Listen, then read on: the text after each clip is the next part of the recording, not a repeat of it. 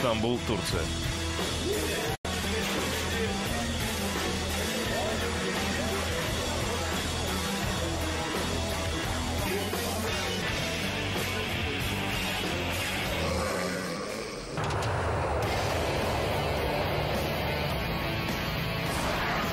Вита прибывает в Париж. Вы должны отвезти меня к этой к Йофелевой башне. Там какая-то гостиница. Эйфелева башня. Да, Йофелева, я так и сказал. Башня такая, да, понимаешь? По-американски понимаешь? Не понимаю, чуть-чуть. Ну, Bon, Bon voyage, что ли? Слушай, не нравится мне ваша страна, а? Глупая какая-то, глупейшая статуя, или что это, не статуя? Как они вообще поставили ее? Буровая вышка какая-то. Они бы еще статую в виде вешалки поставили. Слушай, мы приехали, вон мой отель.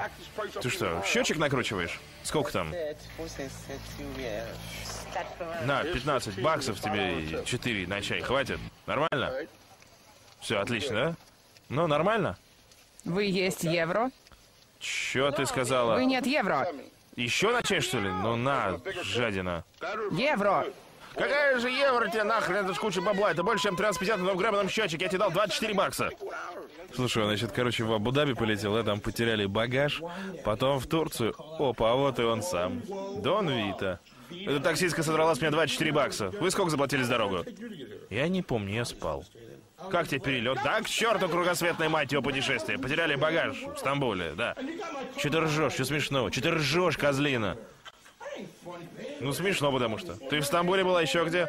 В Константинополе, Константинополе, как его там? Ты где ты? Ну, Константинополь, в общем, этот, Абу-Дабу, Шабу, Кабу-Дабу. Да черт я знает, где я был, везде я был. Ну вот ты теперь в Париже, да, в Париже.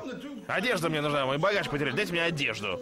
Только меня не трогай, сейчас не трогай, отдай пиждак мне быстренько.